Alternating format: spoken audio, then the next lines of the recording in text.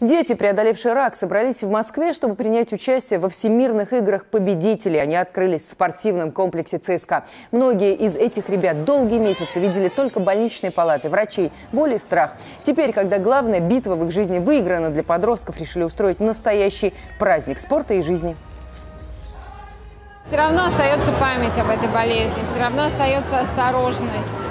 А, остается грусть определенная и у самих детей, и у родителей. И мы уверены, что чем больше радости мы сможем им доставить, ну, например, даже в эти дни очень концентрированно, тем быстрее они восстановятся эмоционально после своей болезни и поверят в свои силы.